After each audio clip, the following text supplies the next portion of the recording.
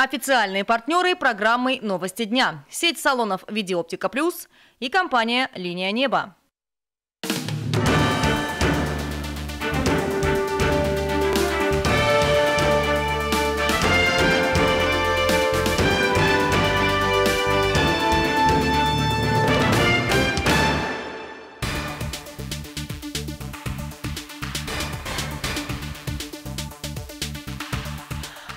Эфире ТВ-кома. Новости дня. В студии Юлия Пермякова. Здравствуйте. И в начале выпуска коротко расскажу о главных событиях, которые произошли за минувшие выходные и понедельник в Бурятии и ее столице. В безознательном состоянии были обнаружены мужчина и две женщины. В Улан-Удэ на пожаре погибли три человека. Подробности в горячей линии. Каждое утро встаешь, думаешь, подышать сейчас бы, а невозможно дышать. Зловоние, которое чувствуется на расстоянии 20 километров от источника. Продыху жителям Заиграевского района не дает крупный агрохолдинг. Помогите нам, пожалуйста. Мы остались на сегодняшний день совсем без транспорта. Дайте нам автобус. Жители ДНТ вынуждены преодолевать по несколько километров пешком, чтобы добраться до остановки.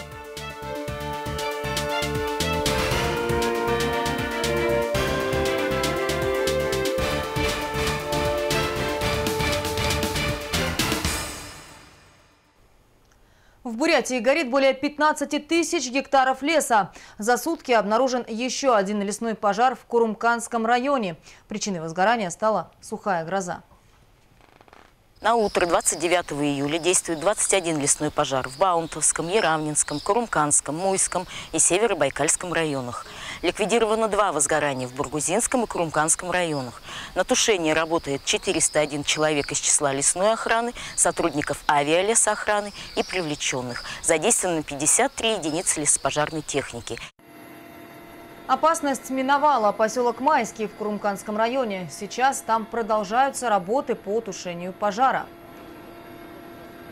На сегодня работы по тушению продолжают 62 сотрудника авиалесоохраны, 80 лесной охраны и 13 привлеченных. Задействовано 23 пожарных автомобиля, 3 трактора и 4 бульдозера. Площадь, пройденная огнем, составляет более 8 тысяч гектаров. Ситуация находится под контролем, угрозы населенным пунктам нет. Аномальные ливни сильно повредили дорожное полотно города. Муниципальные службы все выходные отсыпали пострадавшие участки. Самое большое количество разрушений пришлось на Октябрьский район. Там восстановили дороги в микрорайоне Светлый и Радужный. Сейчас комбинат по благоустройству работает на Комушке. Начали сейчас заниматься э, отсыпкой градированием. Ямочный ремонт в выходные мы сделали порядка там 200 квадратных метров э, двумя БЦМами. Э, сегодня также планируем работы по устранению ям, те, которые появились после дождя. За выходные мы убрали также наносы с дорог, которые у нас мешали транспорту. В ближайшее время засыпят и отгрейдируют улицы в микрорайонах Солнечный, Зеленхоз, Загорск, Верхняя Березовка и Шишковка. А уже сегодня ночью, чтобы не мешать движению транспорта, обещают провести ямочный ремонт под путепроводом на проспекте 50-летия октября. А по всей республике продолжают ликвидировать последствия паводков, из-за которых были потоплены дороги федерального, регионального и местного значения – в Тункинском, Закаменском, Джидинском и Акинском районах. В трех районах движение восстановлено полностью, а вот в Акинском наблюдается незначительный подмыв региональной автодороги Монды-Орлик. Движение возможно пока только по одной стороне. Подтопление жилого сектора, в том числе э, жилых домов, не зарегистрировано. Были частичные подтопления участков, это в городе Закаменск и в Тарбогатайском районе, но это больше дождевые паводки.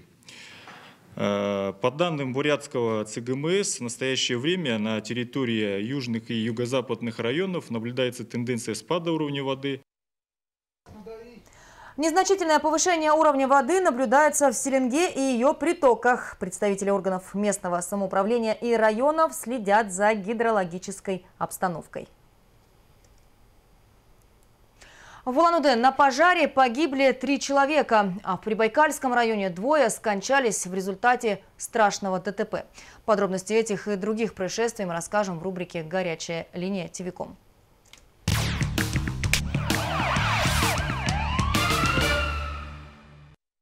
Пожар унес жизни трех человек. Трагедия произошла в двухэтажном многоквартирном доме на улице Заиграевская. Горела одна из квартир. Предварительно причиной возгорания стала неосторожность при курении. Пожарными в ходе тушения квартиры в условиях плотного задымления в помещениях в бессознательном состоянии были обнаружены мужчина и две женщины. Все трое были эвакуированы на свежий воздух и переданы врачам скорой медицинской помощи. На месте медиками была констатирована смерть троих человек.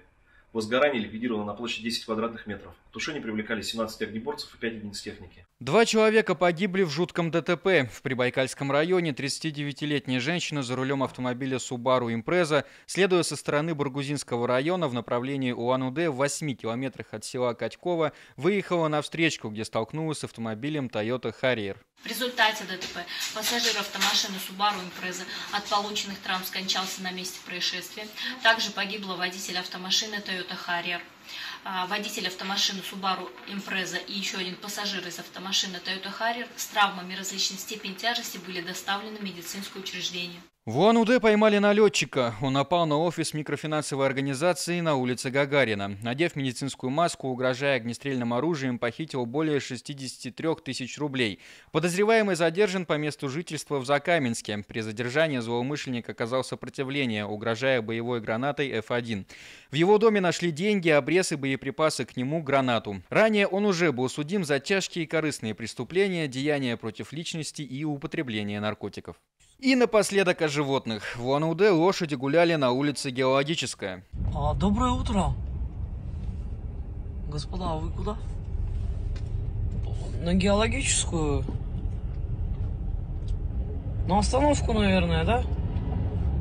Как именно лошади оказались на городских улицах, остается только гадать. Надеемся, что каждая из них добралась до дома в целости и сохранности, а их хозяину не придется искать ночью в поле коня. Андрей Слепнев, новости дня.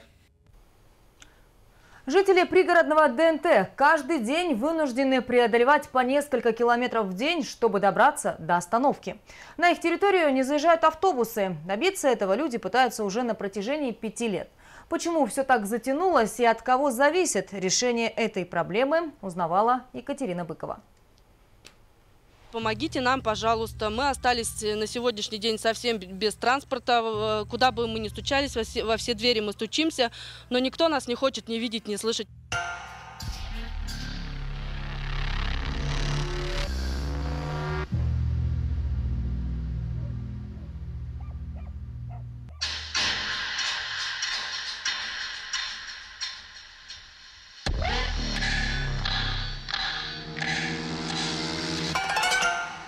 Каждый день жителям ДНТ «Булак» приходится добираться до остановки общественного транспорта по этой песчаной дороге почти 4 километра. Население больше тысячи человек. В основном это пенсионеры и молодые семьи с детьми. По словам местных жителей, дорога до ближайшей остановки в два раза меньше. Сесть там можно на дачный автобус, который курсирует с 1 мая по 15 октября. Все остальное время приходится идти от дома до магистральной трассы. Там останавливается муниципальный транспорт. Мы хотели бы обратиться к нашим властям, чтобы нам продлили конкретно вот муниципальный транспорт э, бюджетного варианта э, на все сезоны с увеличением рейсов. Вот сейчас он в данный момент ходит как раз-таки до въезда. Очень удобно, а экономично, и мы бы все были бы рады. Помимо дачного и муниципальных автобусов добираться до города жители Булага могли с частным перевозчиком. Его организовала председатель ДНТ «Ручеек». Расстояние до него 6,5 километров. Раньше частник заезжал прямо в Булаг, однако больше недели назад просто перестал. Ну вот, видимо, она команду дала, что все, отмена. Я у водителя спрашиваю, а почему он? А нет, не будет ходить. А почему? Он отмолчался. Все. Ну что, и пошла я с опущенной головой и с обидой в сердце и с слезами на глазах.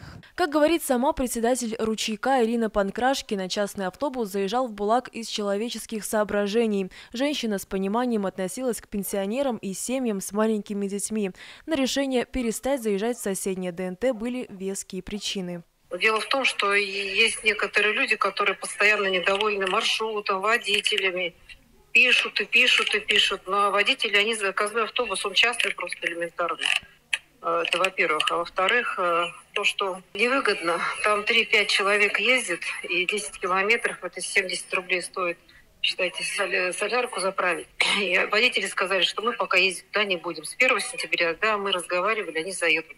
До начала учебного года частники сотрудничать с Булагом отказались, на что имели полное право. А вот муниципалы на ДНТ крест не ставят и готовы будут заезжать к жителям. Однако есть одно «но». Для организации маршрута необходимо, чтобы дороги в ДНТ «Булак» были приведены в соответствие с требованиями законодательства. Неоднократные комиссионные выезды специалистов Министерства транспорта, администрации района и ГИБДД в ДНТ выявили недостаточную ширину проезжей части, гребенку, ямы, отсутствие необходимых дорожных знаков, а также нет проекта организации дорожного движения. По информации администрации района, данные дороги находятся в собственности ДНТ и до приведения приведения их в соответствие организация регулярного транспортного сообщения не представляется возможной. Теперь дело за жителями Булага. Им придется своими силами и средствами прокладывать дорогу. Хотя куда проще выбрать председателя ДНТ, который также организует частный маршрут. Екатерина Быкова, Сергей Медведев. Новости дня. В Бурятии с начала сезона клещи покусали уже более трех с половиной тысяч человек. И это только те, кто обратился за медицинской помощью. Статистика показывает, что количество пострадавших в этом году на 20% выше среднемноголетнего показателя. Уже зарегистрировано 39 больных инфекциями, передающимися этими паразитами. Из них 13 человек заболело вирусным энцефалитом. Все больные клещевым вирусным энцефалитом не были привиты против данной инфекции. Они своевременно не обращались за медицинской помощью по поводу присасывания клеща. Многие из них обратились в медицинские организации только при появлении клинических симптомов заболевания. Часть заболевших получала лечение в отделении реанимации. У многих заболевание сопровождалось параличами и порезами конечностей. Чтобы не получить тяжкие последствия от укусов клещей, на природе нужно носить одежду, затрудняющую насекомым доступ к телу. Обязательно осматривать себя и близких после посещения лесов. Если же вы все-таки обнаружите на себе паразита, необходимо незамедлительно обратиться за медицинской помощью. По возможности необходимо сохранить клеща и передать медикам для дальнейшей экспертизы на наличие болезней. В России изменился порядок списания задолженностей по кредитам. В первую очередь теперь будут списываться проценты, затем основной долг и только после этого штрафы и пени. Рассчитывают, что такое нововведение облегчит положение заемщиков, которые временно испытывают трудности с финансами. Учитывая, что в последнее время граждане стали брать больше денег в долг через микрофинансовые организации. По итогам прошлого года лидерами по доле имеющих кредиты стали многодетные семьи. Закредитованность этой категории населения достигла почти 70%. Далее небольшой перерыв. Не переключайтесь, скоро вернемся. Когда я увидела, я прямо обалдела. Думаю, как здорово, как классно проходит. Не пить, а петь предлагают по пятницам в трезвом караоке. Месяц мы готовили на этот праздник. В Монголии завершился 15-й всебурятский фестиваль Алтаргана. В следующий раз национальный праздник пройдет уже в Бурятии.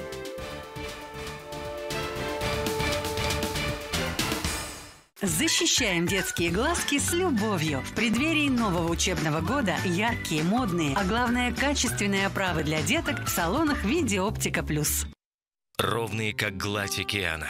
Притягивающие взор, как женская красота. Расширяющий пространство до размеров Вселенной. Линия неба. Натяжные потолки любой сложности. Телефон 307 307.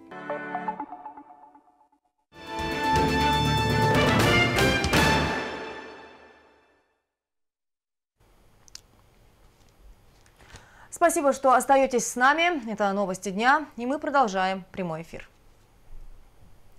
Накануне в России прошел День памяти детей, ставших жертвами войны на Донбассе. Бурятия присоединилась к траурной акции. В штабе общественной поддержки вспоминали ребятишек, безвинно погибших при обстрелах ВСУ. Подробности в нашем следующем материале. Когда погибают дети, это страшно, это страшно для всех. Но еще страшнее, когда они побывают, погибают от, не от людей, а от нелюдей которые живут с нами на нашей земле. Это очень страшно. То есть допускать того, чтобы гибли дети, вообще этого нельзя допускать.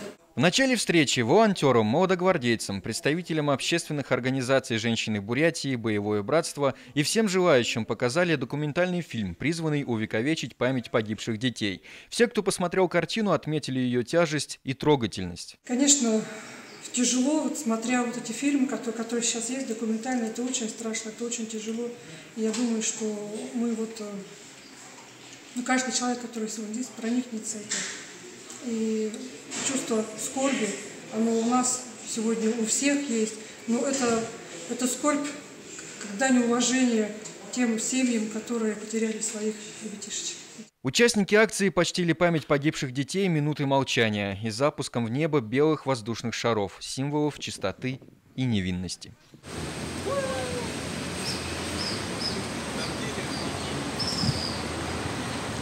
Андрей Слепнев, Новости дня. Жители Улан-Удэ забирают бездомных собак из городских приютов. В столице Бурятии прошла ярмарка, где любой желающий мог выбрать четвероногого друга из приюта Ананда. Горожане смогли посмотреть всех хвостатых, которые находятся на содержании. Например, собака Ласка первая уехала в свой новый дом. Ласка, первая собачка, сегодня уезжает домой. Работники ветеринарии на месте, сразу у нас регистрация. Они уже с утра кушали. А где ба? С утра кушали. Нет, ну, чтобы он это... Сейчас дадим что-нибудь. Также в приюте можно было зарегистрировать и, и вакцинировать своего питомца. Акция длилась два дня. В Улан-Удэ открылась трезвая караоке. Каждую пятницу по вечерам в парке «Юбилейный» собираются любители не пить, а петь. Взять микрофон в руки и исполнить любимую песню бесплатно может любой желающий. Подробнее о том, как проходит мероприятие, зачем люди приходят туда и почему организаторы готовы тратить свое время безвозмездно, расскажет наш корреспондент.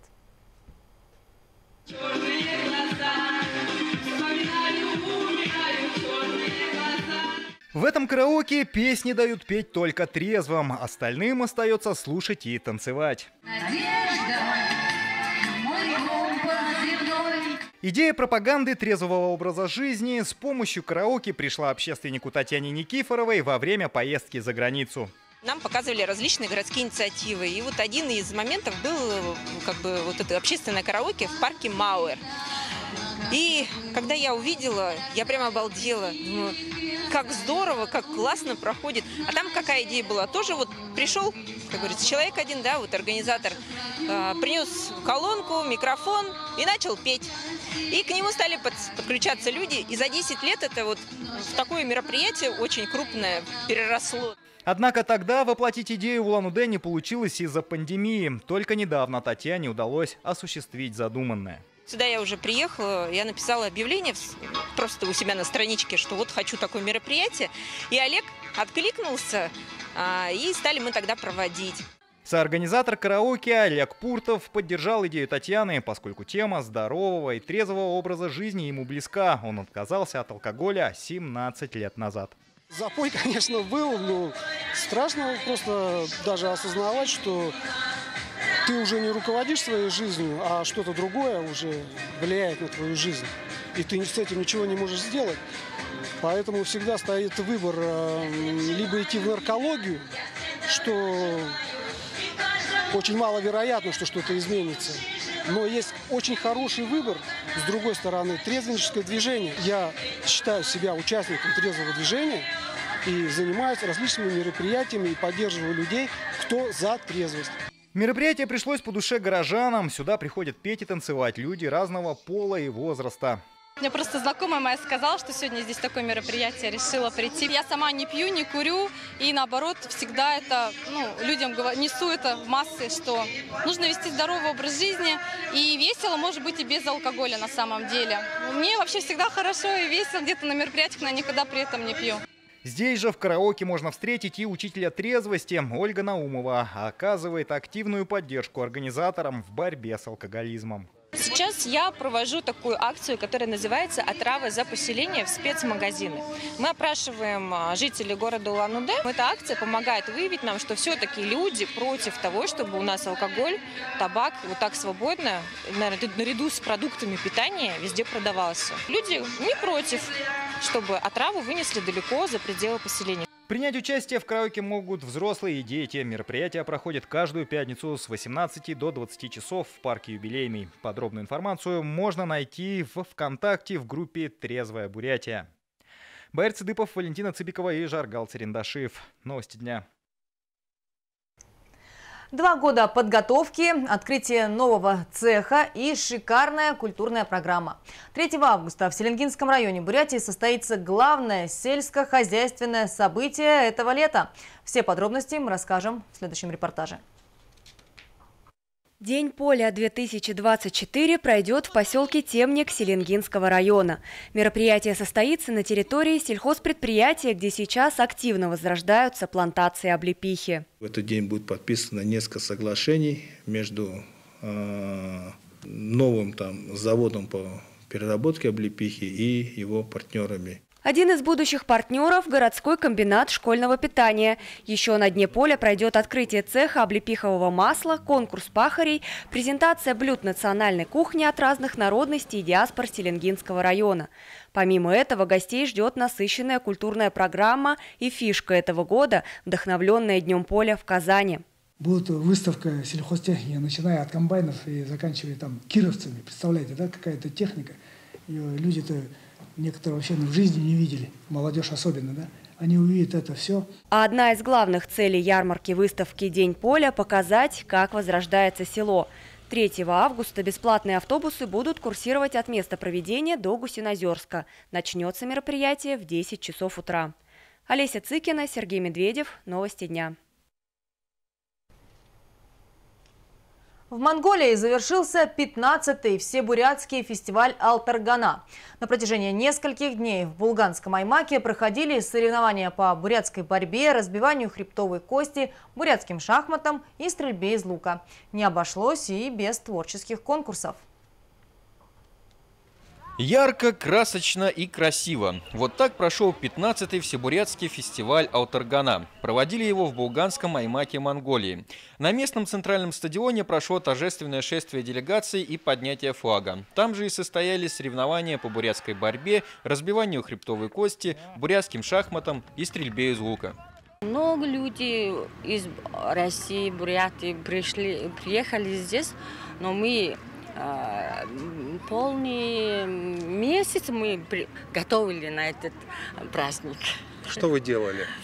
А, мы а, сделали юрты, многие юрты, еще многие спортивные соревнования. соревнования там мы готовили. Какая же Алтаргана без творческих конкурсов? Гости фестиваля выясняли, кто лучше в бурятской песне и поэзии. В празднике приняли участие и 13 районов Бурятии.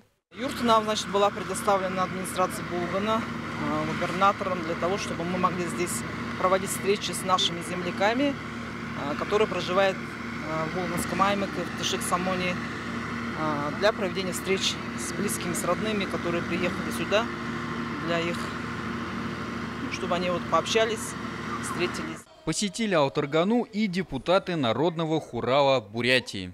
Это масштабное мероприятие, важные события для бурятского народа, для общественности, для всех а, жителей Республики Бурятия, Байкальского края, а также Иркутской области, внутренней Монголии, Китая. Масштабное мероприятие присутствует, принимает участие в течение этих трех дней. Алтаргана проходит на высшем уровне, могу сказать, потому что здесь, э, э, в степи э, Монголии, очень для нас значимо. Мы депутатов Урала, 20 депутатов Народного Урала приехали. И все э, с таким желанием увидеть и прикоснуться истории э, и Алтарганы, и Монголии, потому что Алтаргана э, начинал здесь, Монголии. Отмечу, что главная корона Алтарганы досталась девушке из Бурятии. Красавица из Джидинского района Чингисма Мункуева стала Дангиной. Девушка – студентка колледжа искусств, ей 18 лет. Ну а следующий всебурятский фестиваль состоится в нашей республике в 2026 году. В последний раз наш регион принимал его в 2016. Ждем с нетерпением. Андрей Слепнев, Сергей Тучков, Евгений Павлов. Новости дня. Монголия. Далее эфир продолжит свежий выпуск программы «Середина Земли». Чем запомнилась предыдущая неделя в Иркутске, Калмыкии, Якутии, а также в Монголии и Китае, узнаете в 20.10. Новости соседних регионов расскажут наши коллеги-журналисты. Ну что ж, таким был этот выпуск. Я еще раз напомню его главные темы. В Улан-Удэ на пожаре погибли три человека. Подробности в горячей линии. Дайте нам автобус. Жители ДНТ вынуждены преодолевать по несколько километров пешком, чтобы добраться до остановки. Не пить, а петь предлагают по пятницам в трезвом караоке. В Монголии завершился 15-й всебурятский фестиваль Алтаргана. В следующий раз национальный праздник пройдет уже в Бурятии.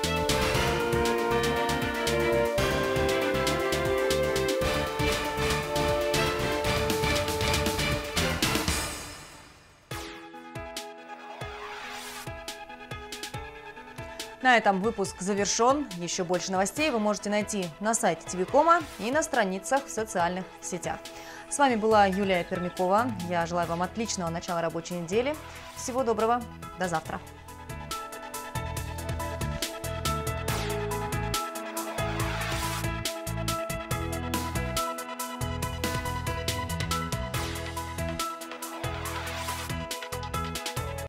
Защищаем детские глазки с любовью. В преддверии нового учебного года яркие, модные, а главное качественные оправы для деток в салонах «Видеоптика Плюс».